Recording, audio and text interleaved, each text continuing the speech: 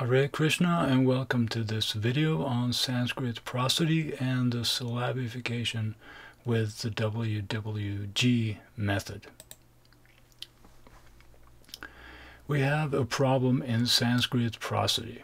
How shall we rigidly deduce the exact syllables of a certain word, phrase, or verse? Take for example this uh, verse in the Gita. Drishtva tu kam. Here, uh, tu is unproblematic to syllabify, but what about drishtva? How to syllabify drishtva? Should we do it as drish and twa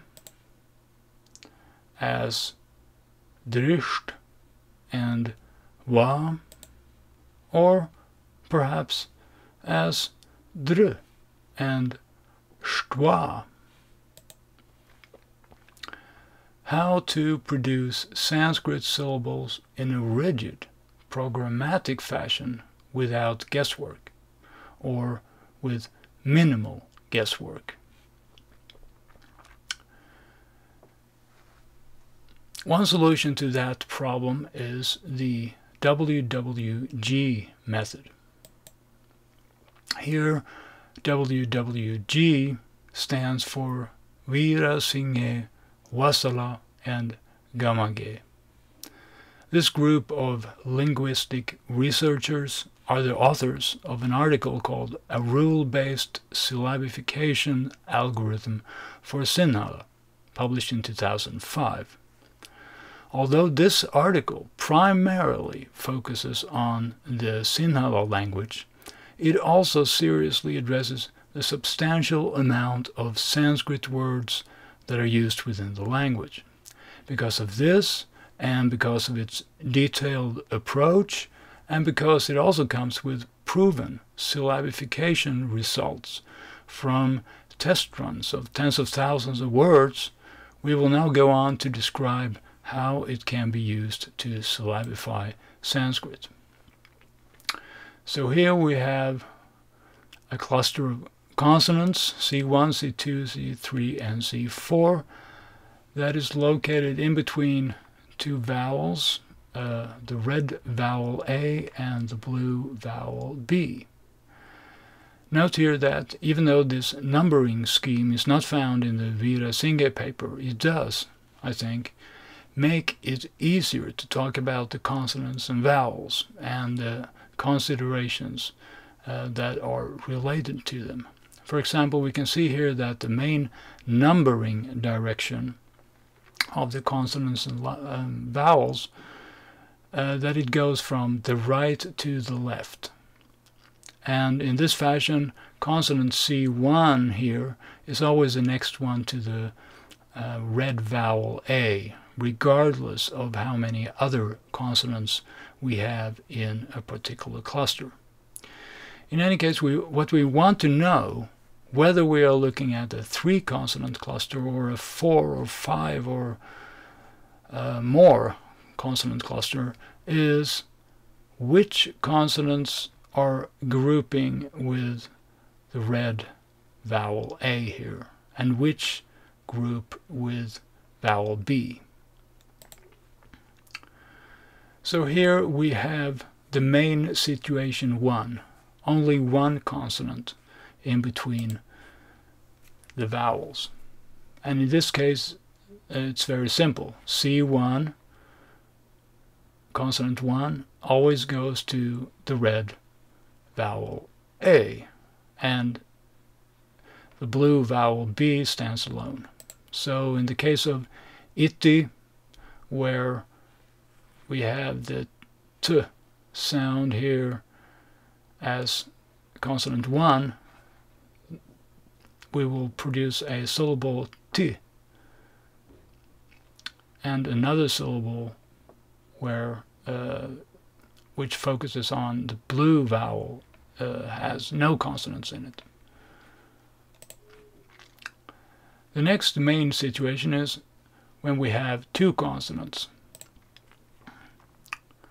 And here also the production of the syllables is quite easy. We have C1 here and C2 here, and in this case we just split the consonant right in the middle. So C1 ends up with the red vowel A, and C2 ends up with the blue vowel B.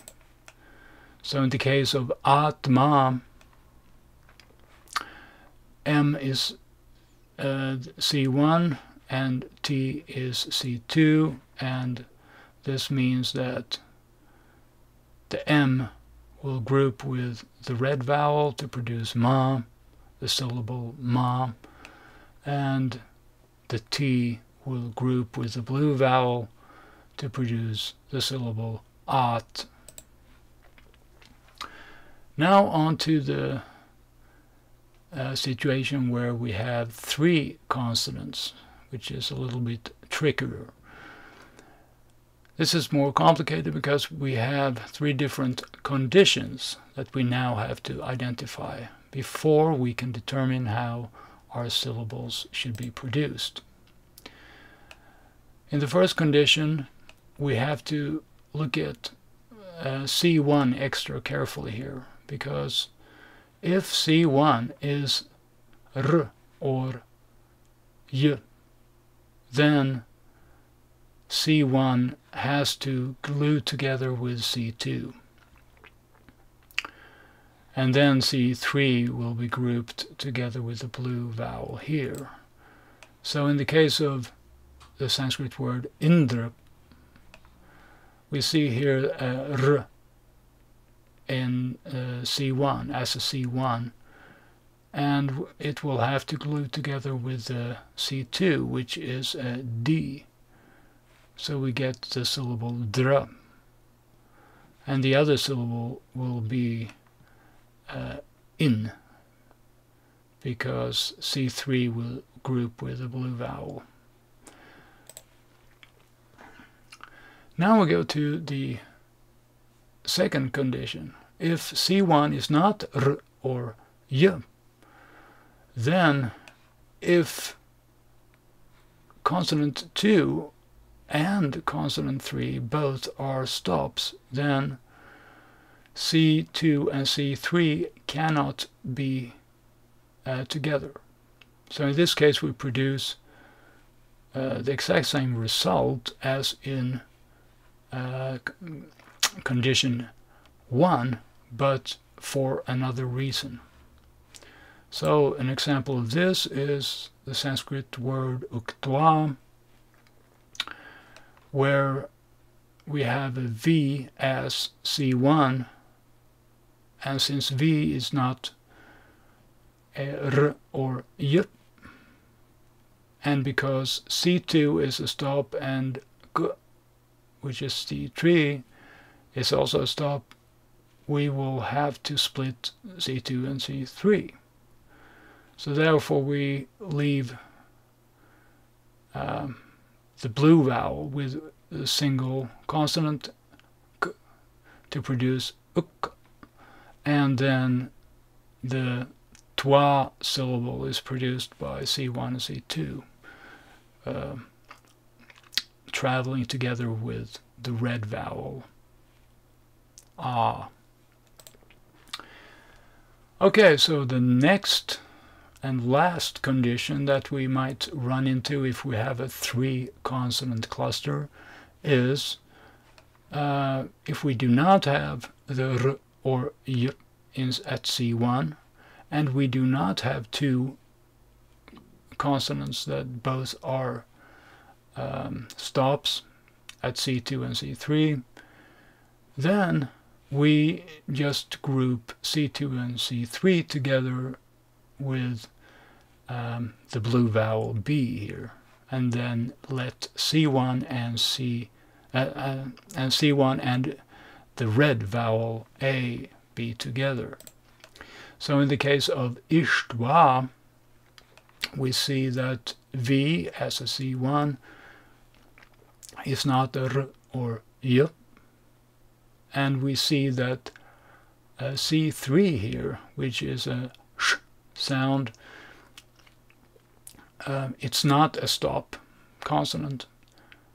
Therefore, uh, C2 and C3 must be together with the blue vowel, and C1 goes with the red vowel. Now let's look at four or more consonants. Here we have only two conditions, not three. And the good thing is that condition one is exactly the same as the one we um, met when we were discussing the three consonant cluster uh, conditions. So if C1 is R or Y, then once again C1 will glue together with C2 and uh, team up with the red vowel A here.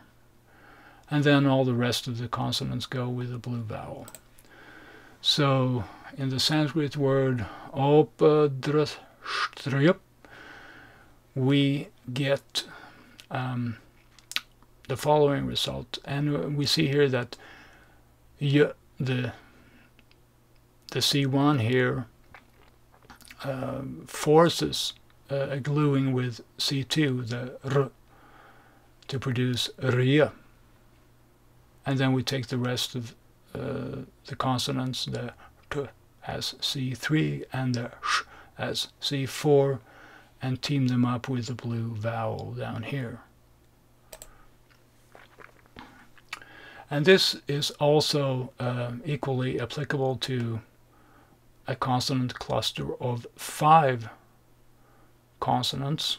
Uh, so if we place a C5 here up next to the blue vowel, that position will um, remain so that in the syllabified result the C5 will end up here also.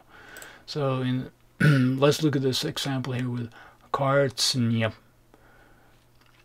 So we still have a y at C1 here.